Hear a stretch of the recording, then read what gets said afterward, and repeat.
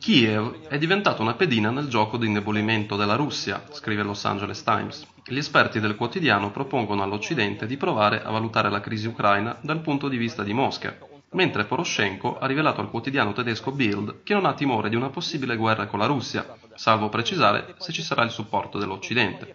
A quanto sembra, proprio per ottenere tale supporto sono partiti per Washington per la seconda volta i comandanti sul campo della Guardia Nazionale Ucraina. Sulle avventure del comandante Semenchenko e dei suoi commilitoni ascoltiamo il servizio di Valentin Bargano.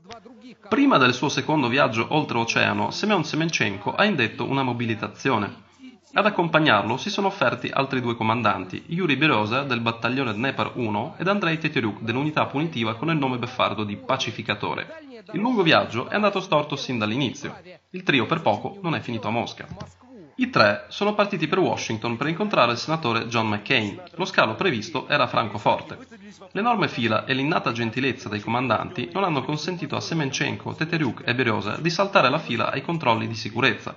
Nella confusione, poi, stavano per imbarcarsi sul volo per Mosca. Una volta realizzato l'errore, era troppo tardi, la coincidenza per Washington era persa. Così l'aeroporto di Francoforte ha riconfermato la sua fama di sfortunato per i politici ucraini. Già qui in precedenza l'ex ministro degli interni Yuri Lutsenko è stato arrestato per ubriachezza molesta. E sempre qui i tre comandanti si sono dovuti arrendere alle circostanze. Dopo che ad agosto le truppe della Guardia Nazionale Ucraina sono finite nella sacca di Ilovaisk, gli stessi soldati avevano mosso accuse nei confronti dei comandanti per mancanza di addestramento e codardia. Ma nella sacca di Francoforte i comandanti sono finiti in circostanze ben diverse. Hanno dovuto lanciare un appello su internet, visto che Semenchenko e dei commilitoni non avevano i visti. Siamo pronti a mostrare le ricevute di pagamento dei biglietti, se richiesti. Il vitto di bordo non ci è stato offerto. Berosa ha portato con sé il lardo, già mangiato, scrive Semenchenko. Di fronte a tale disgrazia è intervenuto il console ucraino, visto anche che Semenchenko ora è deputato, ed alcune persone della diaspora locale. A quelli che volevano discutere con i comandanti sulla situazione ucraina è stato proposto di farlo nel terminale Z. Proprio lì è stato improvvisato un centro di reclutamento nei battaglioni di volontari. Una persona si è pure iscritta. Alla fine, con il ritardo di un giorno e privi del vitto di bordo, il trio ha raggiunto Washington. Da lì Semenchenko ha fornito aggiornamenti via Facebook.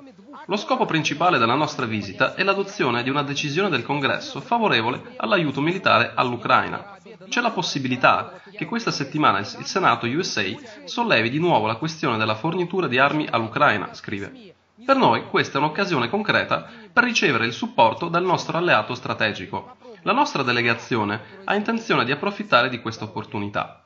Semenchenko ha redatto questo testo nove volte, non riuscendo a decidere se c'è una forte o semplice possibilità che questa settimana il Congresso valuti il progetto di legge 2277. In effetti, l'atto sul contrasto all'aggressione russa in Ucraina giace al Congresso dalla primavera.